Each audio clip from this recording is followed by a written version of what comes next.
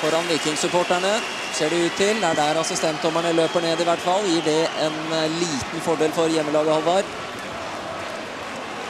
Det tror jeg er eh, usikkert. Det, kan, eh, det kommer an på den mentale tilstanden til spilleren som tar straffesparket. Hvor fokusert klarer han å være? Da, hvis tankene er på rett sted, så hører han ikke hva som skjer på tribunene. Og Indrid Sigurdsson er førstemann som skal i aksjon. Mot Lesijevskij. Island mot Polen. Viking mot Brann. Det er klart for den første straffesparkkonkurransen ute på midten. Står alle spillerne og følger med. De holder rundt hverandre ute på eh, benkene. Her kommer dagens første straffespark. Indridi Sigurdsson.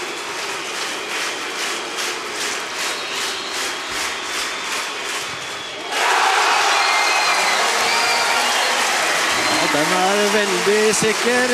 Lurer Lesielski i det ene hjørnet og legger den kaldt og rolig i det andre. Og det er en voldsom entusiasme i publikum og i spillerne. Også på reservebenken. Se hvor smart Sigurdsson gjør dette her. Og så er det unge Fredrik Haugen, 19 år gammel, som gjorde mål tidligere. Hør pipekonserten han får mot seg! Å, det er godt gjort. Det er kaldt. Like kald som Sigurdsson, med langt mindre erfaring. For en type Fredrik Haugen er. Iskald. Og legger den i samme nettmaske som eh, Sigurdsson gjorde omtrent. Nok en unggutt, da. Barisha, som har eh, løpt mest av alle i dag. Har han fortsatt saft i beina? Og nerver i hodet. Skal vi se. Berisha mot Lesijevskij. Lesiewski. Og så er Lesijevskij med og holder den nesten i fast grep. Det er trist for Valon Berisha, som har levert en stor forestilling, men så ubønnhørlig er fotballen, og keeperen har alltid mulighet til å bli helt. Og det er en dårlig straffe, rett og slett. Den er nærme keeper og i høyde hvor det er mest enkelt for keeperen å redde.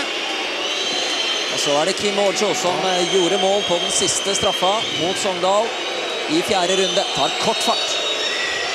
Ah, det er iskaldt Oi, oi, oi. og nydelig. Oi, oi, oi, oi! Den sitter helt klistra opp i hjørnet. Det er ikke en keeper i verden som tar den straffen. Og nå er det Vidar Nisha som går mot ballen og kjenner presset fra 8000 hjemmesupportere i ryggen. Kom inn som innbytter, og nå er det her en utrolig viktig straffe. Skal Lesijevskij redde i en lang fart fra Nisha. Han har jo like langt fram til ballen som han har fra ballen og fram til mål. Og så går Lesijevskij og redder igjen. Den er like dårlig som eh, Berishas. Syker ut Nisja. Nisha. Den er jo knapt nok til side for midten av målet. Nervene spiller et puss eh, for Viking akkurat nå. Skal de skuffe på hjemmebane. Første straffesparkkonkurransen mellom disse to lagene.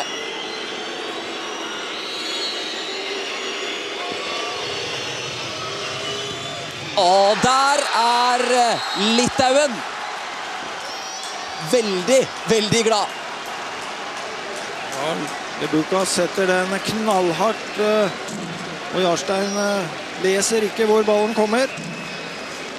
Føler at han har sendt nå Brann til semifinale. Nå kan det avgjøres.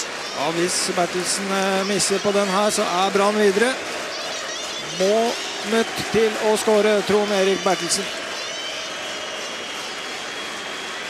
Hele Stavangers håp nå på Bertelsens skuldre. Alesiewski er på den, og Brann er i semifinale i Norgesmesterskapet!